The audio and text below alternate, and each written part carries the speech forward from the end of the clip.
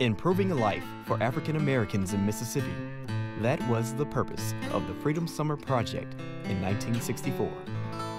One night, when his car broke down between Hattiesburg and Jackson, David Dennis realized just how precarious his situation was. As he sought help, he saw a wanted poster for his friend and fellow Freedom Summer organizer, Bob Moses. I'm going to this service station I'm by myself like crazy at night, and and I go up to the, uh, as I get ready to go in the service station, the bar phone call is, and I looked, I just accidentally looked on the side, is, and there's his poster, you know. I'm looking at a poster of Bob Moses and near the picture, and I'm like, uh, wanted dead or alive, it's a KKK.